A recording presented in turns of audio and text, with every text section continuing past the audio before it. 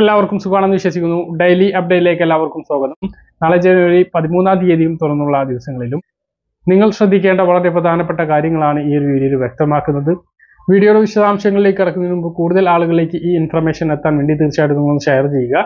ഫേസ്ബുക്കിലൂടെ കാണുന്ന ആളുകൾ ഫോളോ എന്ന ഭാഗത്ത് ക്ലിക്ക് ചെയ്യുക. വീഡിയോയുടെ വിശദമായ വിവരങ്ങളിലേക്ക് വരാം. ഇന്നത്തെ ആദ്യത്തെ അറിയിപ്പ് സന്തോഷകരമായിട്ടുള്ള ഒരു പ്രതീക്ഷയാണ് വന്നിട്ടുള്ളത്. പ്രധാനമന്ത്രി കിസാൻ സമ്മാൻ നിധി യോജനയ്ക്ക് കീഴിൽ കർഷകർക്ക് പ്രതിവർഷം പന്ത്രണ്ടായിരം രൂപ നൽകുമെന്ന് പ്രധാനമന്ത്രിയുടെ വാഗ്ദാനം. ഫെബ്രുവരി ഒന്നിന് നടക്കുന്ന കേന്ദ്ര ബജറ്റിൽ ഇടം പിടിക്കും എന്ന റിപ്പോർട്ടുകൾ പ്രധാനമന്ത്രി കിസാൻ സമ്മാൻ നിധി ഗുണഭോക്താക്കൾക്ക് ആറായിരം രൂപയാണ് ലഭിക്കുന്നത്. രണ്ടായിരത്തി ഇരുപത്തിമൂന്ന് നവംബറിൽ രാജസ്ഥാനിലെ ഹനുമാൻഗഡിൽ നടന്ന തിരഞ്ഞെടുപ്പ് റാലിയിൽ സംസാരിക്കവേ പ്രധാനമന്ത്രി കിസാൻ സമ്മാൻ നിധി തുക ഇരട്ടിയാക്കുമെന്ന് പ്രഖ്യാപിച്ചിരുന്നു. പ്രധാനമന്ത്രി കിസാൻ സമ്മാൻ നിധിയുടെ ഭാഗമായി ഭൂ ഉടമസ്ഥരായ കർഷകരുടെ കുടുംബങ്ങൾക്ക് രണ്ടായിരം രൂപയുടെ മൂന്ന് തുല്യ ഗഡുക്കളാണ് സഹായമായി നൽകുന്നത്. പി എം കിസാൻ സമ്മാൻ നിധിയുടെ അവസാനമായി വിതരണം ചെയ്ത പതിനഞ്ചാം ഗഡു പതിനേഴായിരം കോടി രൂപ എട്ട് ദശാംശം അഞ്ച് കോടി കർഷകർക്ക് പ്രധാനമന്ത്രി വിതരണം ചെയ്തിരുന്നു. തുക വർദ്ധിപ്പിക്കുമ്പോൾ രണ്ട് രീതിയിലായിരിക്കും വർധനവ് എന്നാണ് ഇപ്പോൾ വരുന്ന വിവരങ്ങൾ. സ്ത്രീ ഗുണഭോക്താക്കൾക്ക് വർഷത്തിൽ പന്ത്രണ്ടായിരം രൂപയും പുരുഷന്മാർക്ക് വർഷത്തിൽ ഒൻപതിനായിരം രൂപയുമായി വർദ്ധിപ്പിച്ചേക്കും എന്നുള്ള റിപ്പോർട്ടാണ് വരുന്നത്. ഇതിന്റെ അവസാന അറിയിപ്പുകൾ വരാൻ ബജറ്റ് വരെ കാത്തിരിക്കണം. നനവ് ഉറപ്പാണ് എന്നാണ് മലയാള മാധ്യമങ്ങൾ ഉൾപ്പെടെയുള്ളവ റിപ്പോർട്ട് ചെയ്യുന്നത്. അടുത്ത അറിയിപ്പ്. കേന്ദ്ര സർക്കാർ സാമ്പത്തികമായി ഞെരുക്കുന്നു എന്ന് കാണിച്ച് സുപ്രീം കോടതിയിൽ കേരളത്തിന്റെ ഹർജി പെൻഷൻ വിതരണം ചെയ്യുന്നതിന് അടിയന്തരമായി കടമെടുക്കാൻ ഉത്തരവിടണമെന്ന് ആവശ്യപ്പെട്ടും കേന്ദ്ര സർക്കാരിന്റെ നയങ്ങളെ വിമർശിച്ചുകൊണ്ടും സംസ്ഥാന സർക്കാർ സുപ്രീം കോടതിയെ സമീപിച്ചു. പെൻഷൻ നൽകാൻ സംസ്ഥാന സർക്കാർ ബുദ്ധിമുട്ടുകയാണ് എന്നും അടിയന്തരമായി ഈ വിഷയം പരിഗണിക്കണം എന്നും സംസ്ഥാന സർക്കാരിനായി മുതിർന്ന അഭിഭാഷകൻ കപിൽ സിബിൽ കോടതിയിൽ ആവശ്യപ്പെട്ടു. കേരളത്തിന്റെ ഷൂട്ട് ഹർജി പരിഗണിച്ച കോടതി കേന്ദ്ര സർക്കാരിന് നോട്ടീസ് അയച്ചു. പെൻഷൻ നൽകാൻ കടമെടുക്കാൻ അനുവദിക്കണം എന്നും ഹർജിയിൽ കേരളം ആവശ്യപ്പെട്ടു. ഇതിനായി സുപ്രീം കോടതി ഇടക്കാല ഉത്തരവ് പുറപ്പെടുവിക്കണമെന്നും കേരളത്തിന്റെ അഭിഭാഷകൻ സുപ്രീം കോടതിയിൽ ആവശ്യപ്പെട്ടു. ജനുവരി ഇരുപത്തി അഞ്ചിന് ഇടക്കാല ഉത്തരവ് സംബന്ധിച്ച് കേരളത്തിന്റെ ആവശ്യം പരിഗണിക്കാമെന്ന് വ്യക്തമാക്കി അന്നേക്ക് കേസ് പരിഗണിക്കാൻ സുപ്രീം കോടതി മാറ്റിവെച്ചു. കോഴിക്കോട് ഫറൂഖിൽ ലേബലില്ലാത്ത ഒരു ലോഡ് ശർക്കര പിടികൂടി. തമിഴ്നാട് സേരത്തിൽ നിന്നും എത്തിച്ച നാലായിരം കിലോ ശർക്കരയാണ് ഭക്ഷ്യസുരക്ഷാ വകുപ്പ് പിടികൂടിയത്. ശർക്കരയിൽ കൃത്രിമമായിട്ടുള്ള നിറം ചേർത്തിട്ടുണ്ട് എന്നാണ് സംശയം. ഇത് പരിശോധനയ്ക്ക് അയക്കും. ജില്ലയിൽ ലേബലില്ലാത്ത ശർക്കര വിതരണം ചെയ്യുന്നത് ഭക്ഷ്യസുരക്ഷാ വകുപ്പ് നിരോധിച്ചിരുന്നു. ഇതിനിടയിലാണ് ലേബലില്ലാതെ ഒരു ലോഡ് ശർക്കര എത്തുന്നത്. മറ്റൊരു പ്രധാനപ്പെട്ട അറിയിപ്പ് റേഷൻ വിതരണം പോലെ സപ്ലൈകോ ഔട്ട്ലെറ്റുകളിലും ആധാർ നിർബന്ധമാക്കുന്നു. സബ്സിഡി സാധനങ്ങൾ വാങ്ങുന്നതിനാണ് ആധാർ ഒതന്റിഫിക്കേഷൻ നടപ്പിലാക്കാനിരിക്കുന്നത്. ആധാർ ഉൾപ്പെടെയുള്ള R C M S data സപ്ലൈകോക്ക് കൈമാറാൻ ഉത്തരവിറക്കി. ഡാറ്റയുടെ സുരക്ഷിതത്വം ഉറപ്പാക്കണമെന്നും സർക്കാർ അറിയിച്ചിട്ടുണ്ട്. സപ്ലൈകോയുടെ സ്ഥിരം സബ്സിഡി നിർത്തലാക്കുന്നതിനും സബ്സിഡി സാധനങ്ങൾ പതിമൂന്നെണ്ണത്തിന് പകരം പതിനെട്ടെണ്ണം ഉൾപ്പെടുത്തുന്നതിനും വിദഗ്ധ സമിതി ശുപാർശ ചെയ്തിട്ടുണ്ട്. കുറവുള്ള സാധനത്തിന് പകരം പതിമൂന്നെണ്ണം ഇഷ്ടമുള്ളത് ഗുണഭോക്താവിന് തിരഞ്ഞെടുക്കാൻ എന്ന രീതിയിലാണ് ശുപാർശ. നാളെ മുതൽ സംസ്ഥാനത്ത് റേഷൻ വിതരണം തടസ്സപ്പെടാൻ സാധ്യത കുടിശ്ശിക തീർക്കുന്നതിൽ വീഴ്ച വരുത്തിയതിനെ തുടർന്ന് റേഷൻ കരാറുകാർ നാളെ മുതൽ അനിശ്ചിതകാലത്തേക്ക് സമരം ആരംഭിക്കുകയാണ്. റേഷൻ കടകളിലുള്ള സ്റ്റോക്ക് തീർന്നാൽ റേഷൻ വിതരണം മുടങ്ങും. നെല്ലിന്റെ രണ്ടാം വിള സംഭരണത്തിന് രജിസ്റ്റർ ചെയ്യുമ്പോൾ S B I Canara bank അക്കൗണ്ടുള്ള കർഷകർ ആ നമ്പറിൽ തന്നെ രേഖപ്പെടുത്തിയാൽ മതി എന്ന് സപ്ലൈകോ നിർദ്ദേശിച്ചു. നിലവിലെ ധാരണ അനുസരിച്ച് രണ്ടാം വിളയിലും നെല്ലിന്റെ വില കർഷകന് പി ആർ എസ് വായ്പയായിട്ട് തന്നെയാകും നൽകുക. ബാങ്ക് കൺസോർഷ്യത്തിൽ ഉൾപ്പെട്ട എസ് ബി ഐയും കനറ ബാങ്കും വഴി ഇക്കുറിയും വിതരണം ചെയ്യുന്നത് കൊണ്ട് തന്നെ ഇതുവരെ ഈ ബാങ്ക് അക്കൗണ്ട് ഇല്ലാത്ത കർഷകർ ഉടനെ ബാങ്ക് അക്കൗണ്ട് എടുക്കേണ്ടതാണ് എന്നും സപ്ലൈകോ അറിയിച്ചിട്ടുണ്ട്. നിലവിൽ തൊണ്ണൂറ്റിയഞ്ച് ശതമാനം നെൽകർഷകർക്കും എസ് ബി ഐ കനറ ബാങ്കുകളിൽ അക്കൗണ്ട് ഉണ്ട് എന്നാണ് സപ്ലൈകോ വിലയിരുത്തൽ.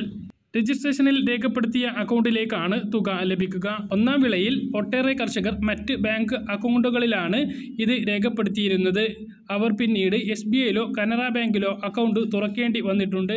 കൺസോർഷ്യം ബാങ്കുകളായ എസ് ബി ഐയിലോ കനറ ബാങ്കുകളിലോ അക്കൗണ്ട് ഇല്ലാത്തവർ പുതിയ അക്കൗണ്ട് തുടങ്ങി സാങ്കേതിക ബുദ്ധിമുട്ടുകൾ ഒഴിവാക്കണം എന്ന് സപ്ലൈകോ അറിയിച്ചിട്ടുണ്ട്.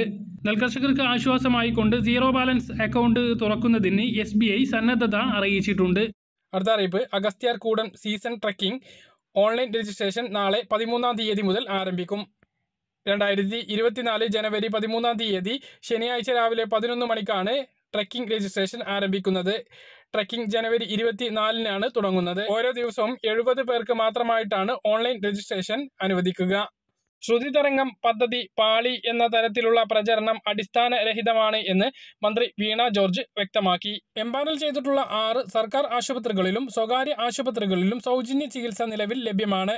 അർഹരായ എല്ലാ കുട്ടികളെയും പരിഗണിക്കാനുള്ള നടപടികൾ പുരോഗമിക്കവേ ഇത്തരം പ്രചരണങ്ങൾ കുട്ടികളെയും രക്ഷിതാക്കളെയും ആശങ്കപ്പെടുത്തുമെന്നും മന്ത്രി വ്യക്തമാക്കി. കേൾവി വൈകല്യം നേരിടുന്ന അഞ്ചു വയസ്സിന് താഴെയുള്ള കുട്ടികൾക്ക് ക്ലോക്ലിയർ ഇംപ്ലാന്റേഷനും അനുബന്ധ സേവനങ്ങളും സൗജന്യമായി ഉറപ്പുവരുത്താൻ സംസ്ഥാന സർക്കാർ ആവിഷ്കരിച്ച് നടപ്പിലാക്കുന്ന പദ്ധതിയാണ് ശ്രുതി തരംഗം.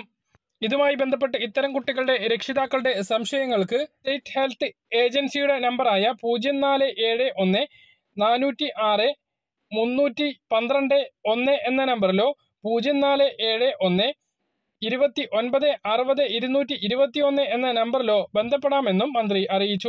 മകരപ്പൊങ്കൽ പ്രമാണിച്ച് സംസ്ഥാനത്തെ ആറ് ജില്ലകളിൽ പതിനഞ്ചാം തീയതി തിങ്കളാഴ്ച അവധി പ്രഖ്യാപിച്ചു.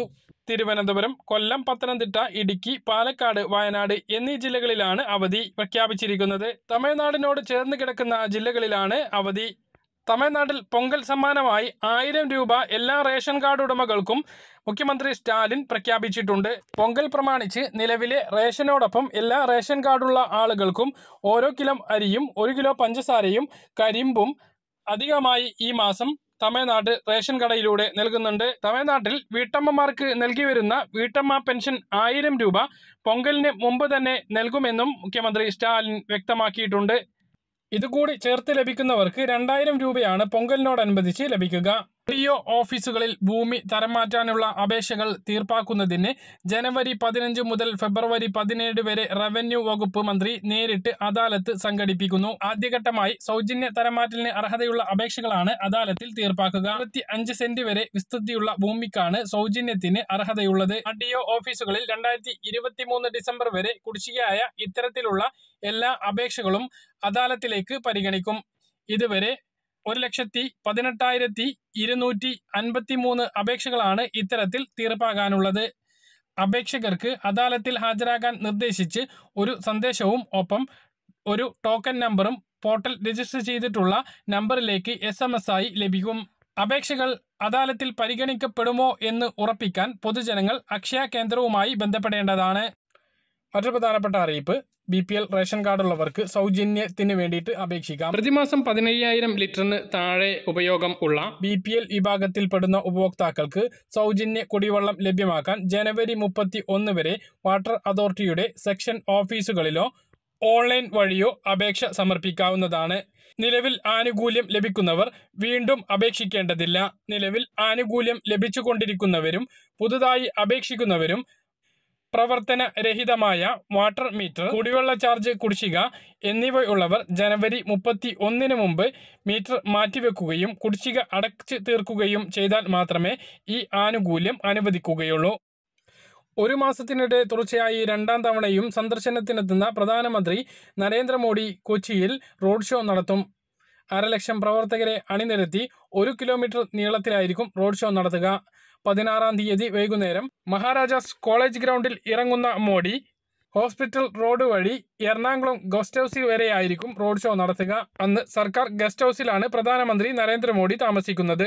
സ്വർണവില കൂടി ഗ്രാമിന് പത്ത് രൂപയാണ് കൂടിയത്. ഇതോടെ ഒരു ഗ്രാം സ്വർണത്തിന്റെ വില അയ്യായിരത്തി എഴുന്നൂറ്റി എഴുപത് രൂപയും പവന് എൺപത് രൂപ വർദ്ധിച്ച് നാൽപ്പത്തി ആറായിരത്തി ഒരുന്നൂറ്റി അറുപത് രൂപയിലും എത്തിയിട്ടുണ്ട്. പറഞ്ഞ കാര്യങ്ങൾ കൃത്യമായിട്ട് മനസ്സിലാകണമെന്ന് കരുതുന്നു. ഇതുപോലുള്ള ഇൻഫർമേഷൻ ലഭിക്കാൻ ചാനൽ സബ്സ്ക്രൈബ് ചെയ്യുക ബെലൈക്കൻ എനേബിൾ ചെയ്ത് വെക്കുക. മറ്റൊരു വീഡിയോയുമായി നമുക്ക് വീണ്ടും കാണാം. ബൈ